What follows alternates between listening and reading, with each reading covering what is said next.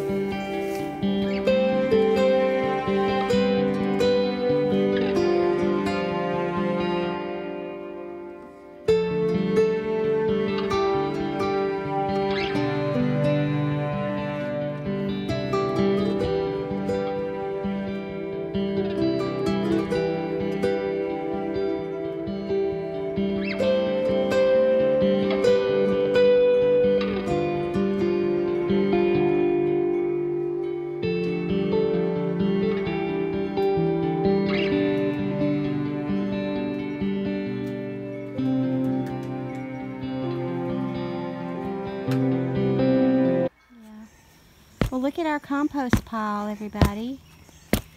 It is breaking down into really good compost that we can use in our garden. And to start your own composting pile, you have to, you got to add a little bit of water, your greens like um, grass, grass clippings, you can add um, potato peels, things from the kitchen, banana peels, onion peels, all organic stuff, and it'll break down. You can even put cardboard in on this, and it will break down. Here's an here is another pile of compost that has broken down nicely. That's going to be some good gardening soil. But look at this right here. This is amazing. A lot of people pay for compost and you can make your own. We can use this to get our seedlings started. Is that right? Yeah. So, but the trick of it is, is you need to turn it every day. Give it a little bit of water and feed it and turn it. And the reason why we put this little fence thing around it is to keep the chickens out of it because they're after the worms. But it's starting, it smells like fresh dirt. That means that's a good indicator that everything is breaking down and it's turning into compost for your garden or for your plants. So.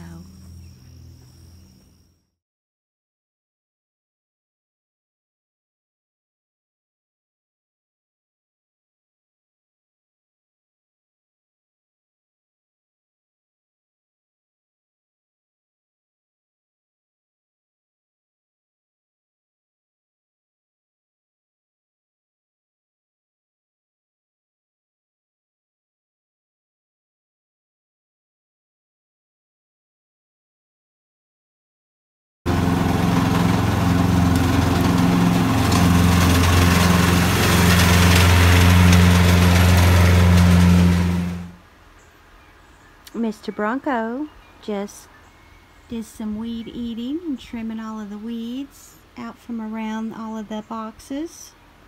It's looking good. It looks really good.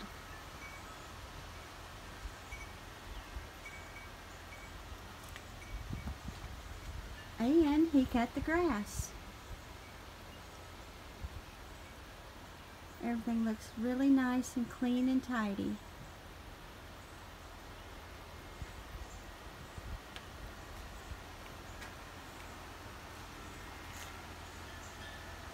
Which one is it?